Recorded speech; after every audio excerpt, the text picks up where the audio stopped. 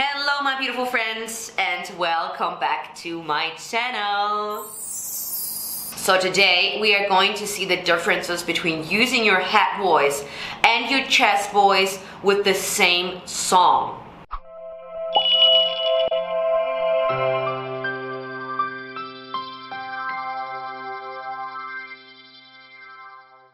Now let's start with a small little overview of our registers. What is your head voice register and what is your chest voice register? And then we're gonna apply this on the same song. There is a reason why the author of the song, the songwriter of the song, the, uh, the composer of the song wants you to sing it specifically in chest voice or in head voice. There is a reason behind it. Now, today we're gonna look at Never Enough, and Never Enough is a song where you have to belt out those high notes.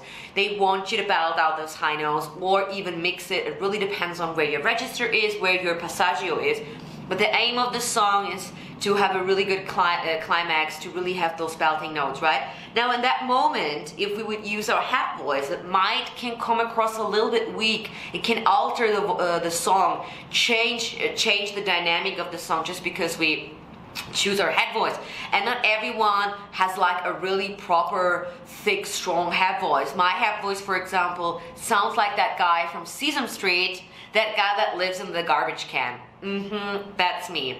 Now, because I never really worked on my head voice when I was a teenager, only later when I started to sing professionally, I was a little bit, you know, keen to explore more my head voice, but not really. And that muscle was never fully developed. It always came across weak, very airy, and it lacked that strongness. Please do me a favor and work on your head voice. Don't, um, yeah, don't miss out on that beautiful part of your voice. Now let's start on what Wikipedia is telling us uh, about registers. Now we have vocal fry uh, or slack. Then we have our chest voice or speaking register. Oh,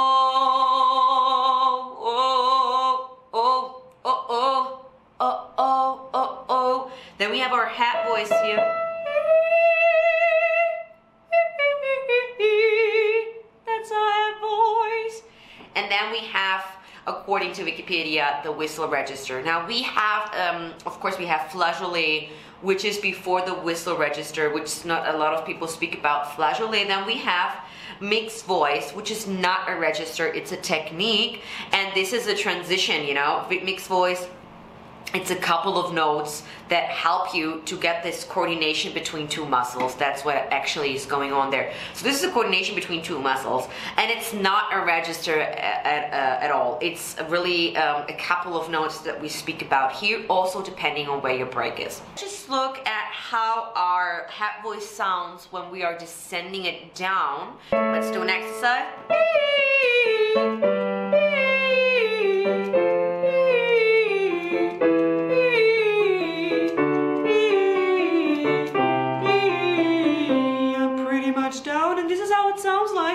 I'm speaking with my head voice. Well, that's very, very low. And I sound like a cartoonish kind of weird version because I brought my head voice down. And it sometimes sounds a little bit like, hey, Goofy! Hey, I'm Mickey, you know? Now this is how it sounds like. I'm going to the chorus and look into the chorus and look how I'm going to execute the chorus if I'm using my head voice there, okay? These hands could hold the world, but it won't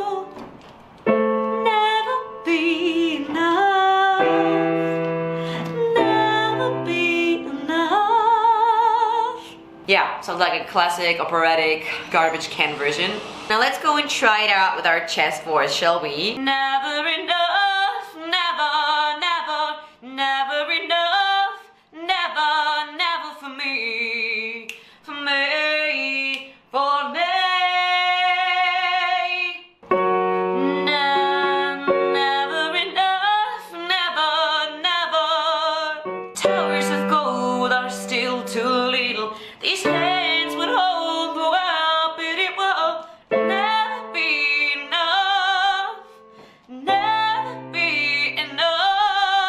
Yes, so you see, there is a reason why certain songs have to be executed the way that the author wants them to be.